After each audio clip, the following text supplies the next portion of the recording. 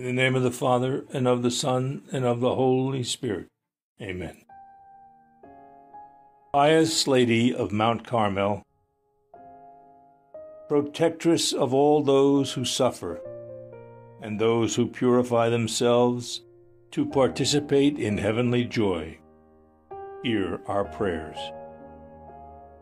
We entrust to you our deceased brothers and sisters, especially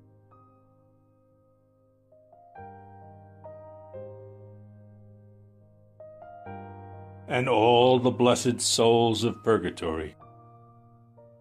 Intercede before your Son, Jesus Christ our Savior, so that he may be with them a merciful judge, and forgive them the faults that they committed in their fragility.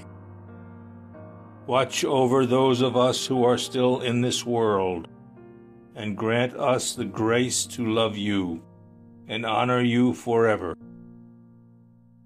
so that you guide us to your Son, and with him we may participate in eternal glory.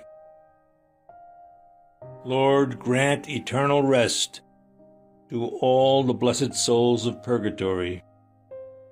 Let the perpetual light shine for them by the mercy of God. Rest in peace, all our deceased brothers and sisters. Amen.